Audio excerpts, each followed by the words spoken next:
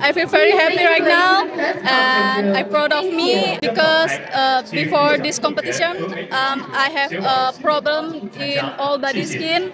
Two days before this competition, I am sick, and now I get best performance. My big dream, uh, I am, I'm get best perform in uh, Olympic Paris 2024. Paris is very beautiful, and all people uh, always say hello and big smile, and I'm uh, very happy uh, see all people in here.